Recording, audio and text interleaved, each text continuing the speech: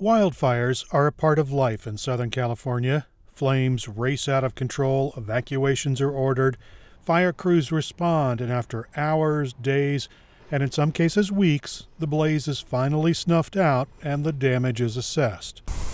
But new research finds the flames are not the only problem.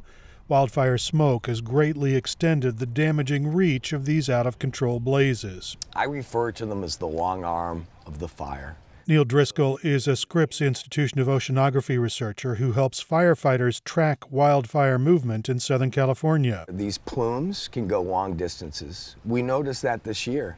We had areas in New England being shut down because of air quality from fires that were in California. In San Diego, the amount of smoke in the air has more than tripled over the last decade. NPR's California newsroom teamed with researchers at Stanford University to analyze satellite images of wildfire smoke. Stanford's Marshall Burke worked on the project. We've seen a clear upward trend in San Diego County uh, and across other parts of Southern California, an upward trend in the number of days uh, with smoke plumes uh, in the air, uh, and a rapid increase in the number of days with these very heavy, these dense smoke plumes overhead. The investigation found Oceanside residents are now living with more than a month of smoke a year it's the same for other parts of North County like Escondido, Fallbrook, and Camp Pendleton. In Imperial County, some areas outside El Centro are now experiencing two months of smoke a year. Even so, Burke says the local region didn't get the worst of it.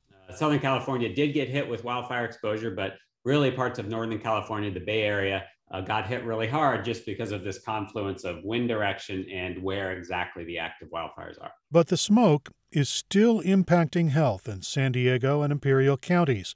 The analysis found a 17% increase in hospitalizations for respiratory and cardiac conditions in the heavy fire year of 2018 compared to just two years before.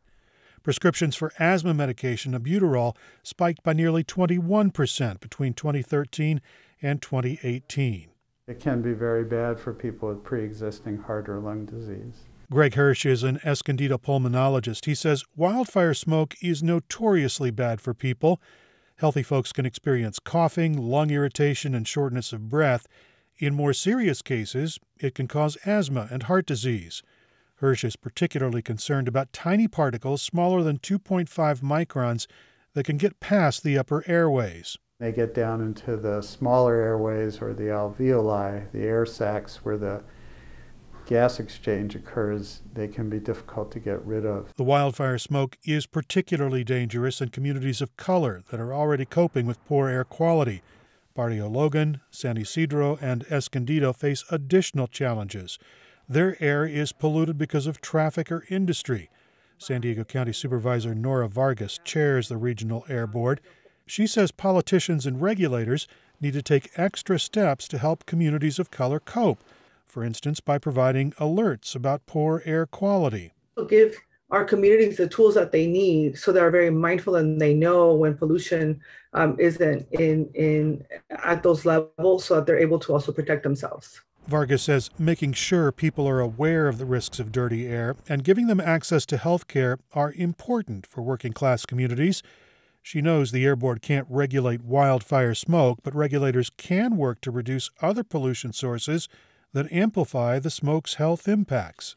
We are really thinking about uh, what are the potential uh, risks of the different industries that are in the region to be able to uh, mitigate that. I think that's another huge um, issue for us. Meanwhile, fires continue to burn in California. There are more than a dozen active battles against wildfires. Flames from more than 7,700 blazes have already charred more than 2.4 million acres in California just this year. Erik Anderson, KPBS News.